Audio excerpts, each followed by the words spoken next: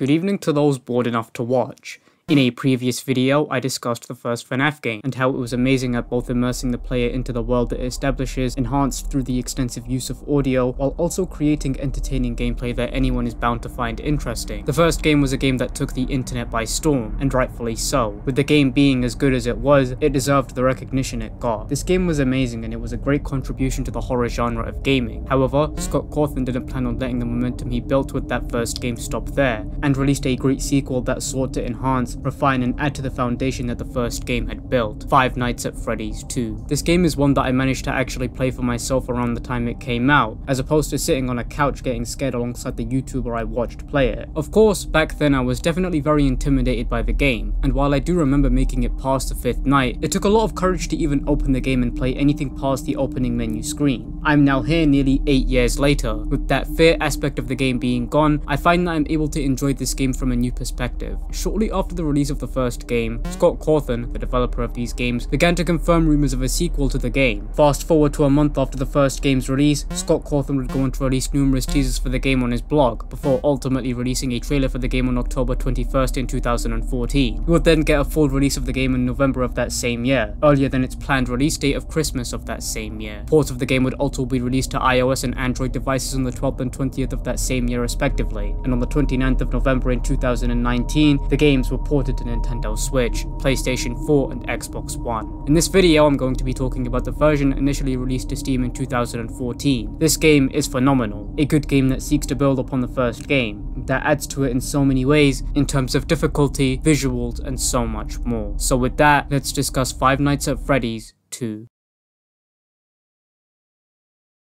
FNAF 2 is a game that changes things significantly from the first game, which while definitely does keep the same concept of avoiding the animatronics and refraining them from entering your office, this game changes things in a way so that they can get more closer to you, giving not only you more opportunities but less time to react to them, but also for them, more opportunities to jump scare you. This game also adds new animatronics to the game. The original four are still here but in a withered state, and accompanying them are six other animatronics who you also need to keep your eye on and prevent them from entering your office. Before we get into the five main nights, I'm going to quickly go over the animatronics once again, as in this game the four returning ones work differently to how they did in the previous game, as well as the additional six, who also function differently to them too.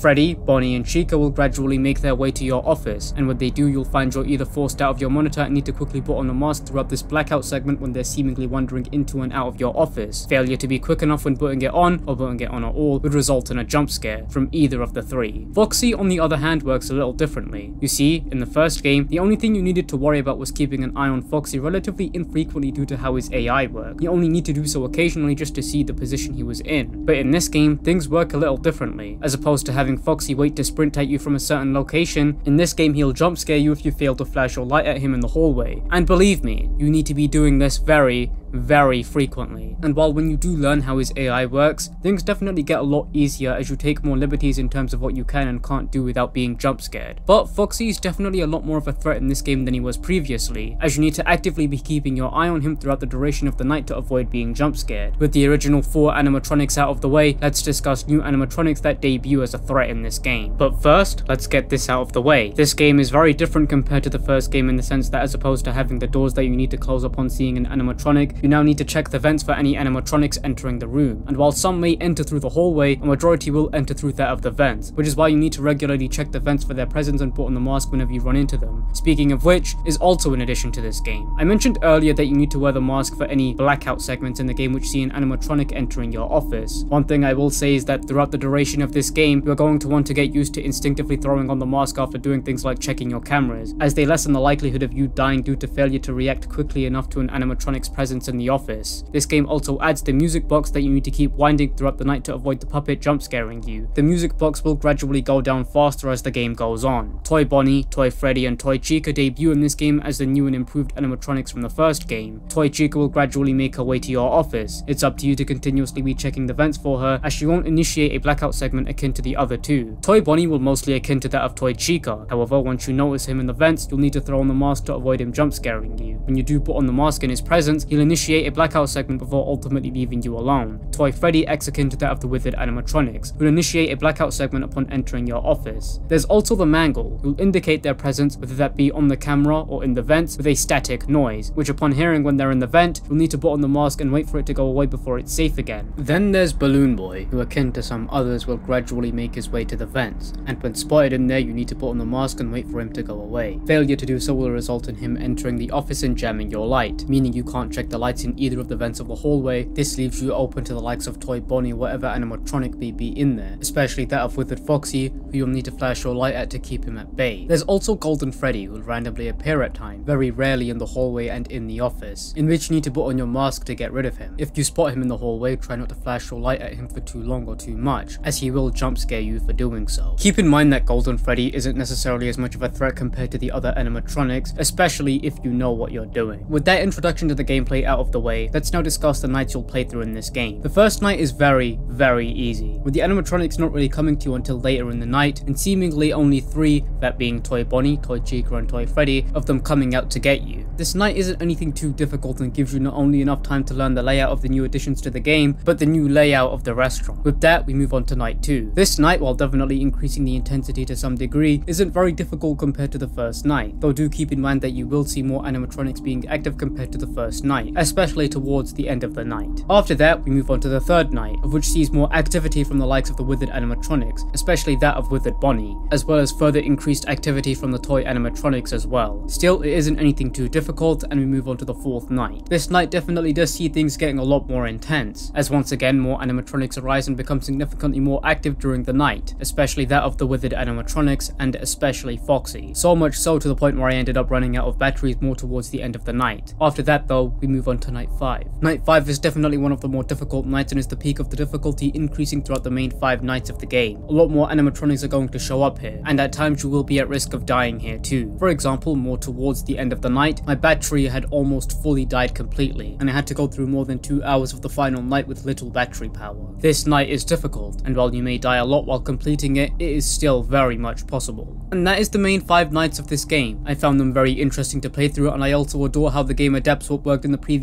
game and adds to it more to enhance the experience of this game. Another thing I also want to bring up is that of the phone calls that you receive during the game, and how they definitely tie in a lot more to the game's story among other details we'll see in due course. In Night 5 specifically, you're told that the building is currently in lockdown. Keep this in mind, as it will be important later. With that, I want to discuss some of the extras in this game.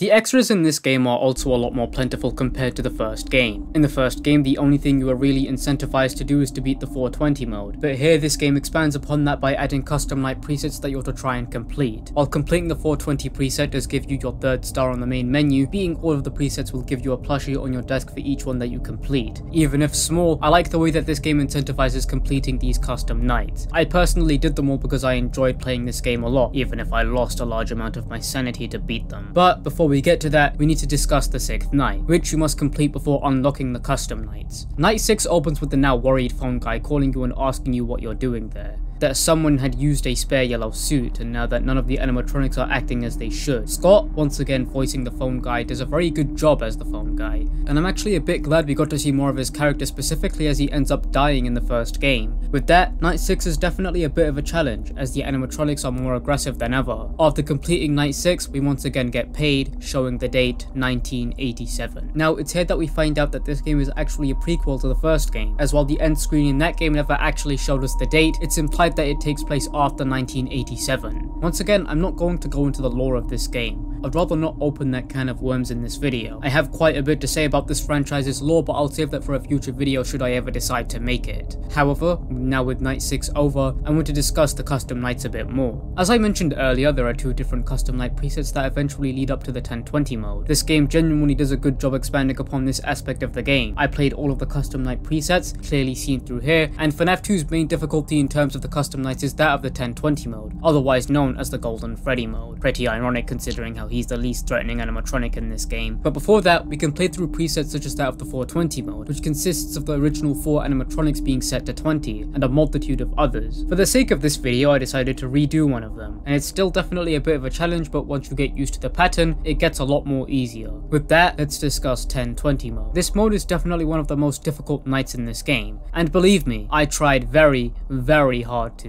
Animatronics like Foxy and Toy Bonnie seriously begin to become a problem as the night progresses. While Foxy can't attack you during blackouts, he can after, and this definitely makes the night a lot more difficult with the strategy I was using. See, given how Foxy can't attack you during blackouts and in this night specifically you will run into an abundance of them, I had to keep the mask on for just slightly longer, as if you do so then it eliminates the need to check the other vent, meaning you can solely keep your eye on the vent that Toy Bonnie comes from. Toy Bonnie also makes an abundance of appearances throughout this night, showing up in the vents randomly, showing up immediately after I just got blacked out meaning I have to go through his blackout, and that subsequently leads to me getting jump scared by Foxy. Or that he appears during the most inconvenient times possible, meaning I can't wind the music box enough and I end up getting killed by the marionette. These factors that I've just described, among many other things, are the reason I'm still yet to beat this night. While it definitely was fun, despite taking half of my sanity, trying to beat it, it definitely wasn't within my skill level. It's possible, don't get me wrong, I'm probably just bad at the game. I mean, you could have just edited the files, but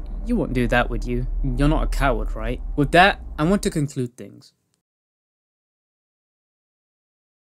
Overall, I think that FNAF 2 is a massive improvement to the first game, in which while that game was great, I feel as though that this game adds and changes a lot more to distinguish itself, but not so much to the point where it's jarring to play. It definitely does help keep the consistency, which was something that was probably within the franchise's best interest to maintain at the time considering this was only the second game into the series. The game, while changing things such as there no longer being doors to shut and instead needing to rely on checking the vents, and adding things such as that of more animatronics to deal with, the mask, the music box and much more, doesn't lose the charm that made the first game great. And if anything, I seriously do like the way that this game is executed. I think that if you enjoyed the first game, then this game is definitely worth your time. This game truly takes what worked with the previous entry and elevates that to the next level, with more animatronics, more mechanics, and more timeless memories with a great game. For those who haven't played this game, then I implore you to do so. And if you enjoy these types of games, then FNAF 2 will be worth your time and money. So, there's the video. I hope you all enjoyed it. This video has been quite the video to make, but I hope you all enjoyed it nonetheless. I'm sorry that this video took a lot longer to come out than I think it would. I'll be trying to close that gap a lot more going forward. Despite the way, I hope you enjoyed this video. And if you want to see the videos I want to do in the future, then there will be a link to a list outlining as such in the description. If you want to follow me, then my socials will be linked in the description, as well as any afterthoughts or messages I may want to add. With that, I haven't really got much else I want to say, so I'll see you all in my next next video. I hope you all enjoyed the video